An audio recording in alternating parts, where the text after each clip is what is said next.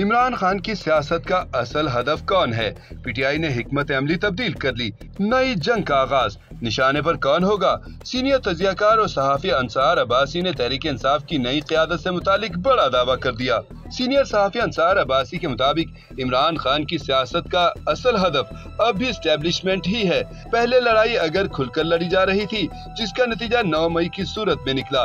लेकिन आठ फरवरी के इंतबात के बाद इमरान खान ने इस लड़ाई के लिए अपनी हिकमत अमली तब्दील कर ली है। अब बराह रास्त लड़ाई के बजाय एक सर्द जंग का आगाज़ कर दिया गया है, जिसका अख्ताम न जाने क्या होगा।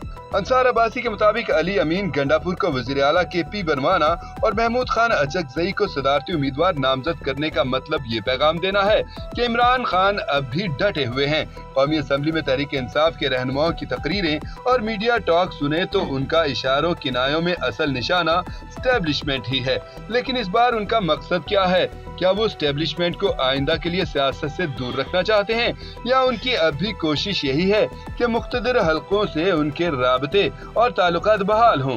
बेशक इमरान खान के पास एक मौका ज़रूर है कि वो अपने सियासी मफादात और इकतदार के हसूल के लिए स्टैब्लिशमेंट की मदद लेने के ख्याल को तर्क कर दें और अपनी सियासी लड़ाई को पुरम तरीके से अवाम की हिमायत से आइन और कानून की हदूद में रखें।